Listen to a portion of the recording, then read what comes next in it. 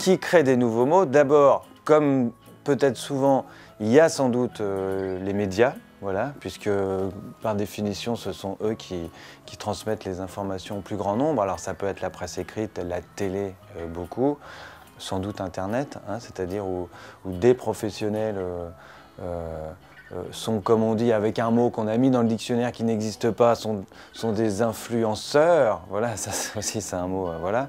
Donc les médias par une méthode assez classique, c'est-à-dire que les gens entendent un mot et puis ils le répètent. Je ne sais pas, récemment on a parlé de bashing par exemple, un anglicisme pour parler de, du cassage de sucre sur le dos de quelqu'un, voilà, hein, le bashing. Et puis euh, après, euh, effectivement, ce, fameux, euh, ces réseaux sociaux, ce Internet fait que, pour être honnête, l'origine est un peu difficile à, identifier. moi, je ne sais pas, on ne sait pas d'où vient le nouveau mot. C'est le fameux principe du buzz de manière générale sur Internet. alors tout le monde essaye d'être connu, de faire son petit brin de célébrité on essaye de faire le buzz, sauf que le buzz, on ne sait pas pourquoi ni comment ça se fait. De la même manière, euh, je pense que n'importe qui peut essayer d'inventer un nouveau mot sur Internet. Ça va prendre ou ça va pas prendre euh, selon que euh, ça va parler aux autres. Quoi. Je pense que, en fait, l'idée d'inventer des nouveaux mots, le problème c'est moins de savoir qui l'invente que euh, pourquoi ça se diffuse. C'est plutôt ça. Pourquoi ça se diffuse? Bah, Sans doute parce qu'à un moment, euh, les gens s'y retrouvent, ça a du sens pour eux, ils le comprennent. Et voilà, je pense que c'est pas nouveau qu'on ait besoin de nouveaux mots pour décrire la réalité, pas seulement d'aujourd'hui, mais, de toujours. Hein. Euh, sauf que je pense qu'avant Internet, les changements, les innovations linguistiques devaient être moins évidente et moins rapide.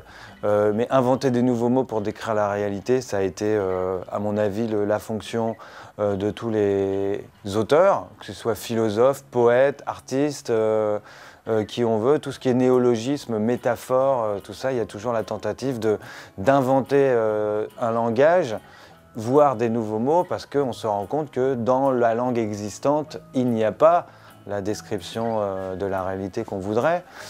et maintenant, je pense qu'on a des moyens que euh, cette euh, se diffuse plus rapidement. Et puis, je pense que c'est un moyen pour n'importe qui de se réapproprier sa langue aussi. C'est ça, c'est pas se dire seulement je suis parlé par ma langue, comme on dit, je suis né dans un certain pays où on parle cette langue qui m'impose une manière de penser, mais c'est aussi une manière de reprendre l'initiative pour que ce soit bien ma parole et pas simplement une langue qui s'impose à moi. Internet et les nouvelles technologies expliquent à la fois la diffusion rapide de nouveaux mots et à la fois le fait qu'il s'agisse bien souvent d'anglicisme, puisque les pays qui ont inventé euh, et qui ont créé euh, toutes ces technologies sont plutôt les pays anglo-saxons.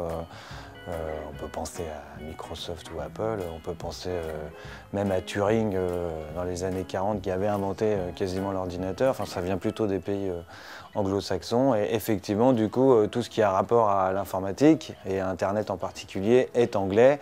Alors du coup, c'est ce qu'on appelle peut-être le geekisme ou les geeks justement, c'est-à-dire que c'est aussi un marqueur social. C'est-à-dire parler anglais montre peut-être d'abord qu'on qu'on a de la culture, qu'on a les moyens de voyager et de parler une langue étrangère. Ensuite, qu'on est au fait de, euh, des nouveaux moyens de communication. Et effectivement, ça montre qu'on a les moyens euh, financiers, intellectuels et culturels euh, de pouvoir parler cet anglais. C'est pas seulement de l'anglais, effectivement, de la mondialisation, c'est de l'anglais des nouvelles technologies. Voilà, c'est ce qu'on appelle, à mon avis, les geeks. Ça montre qu'on est à la page. La langue appartient à tout le monde.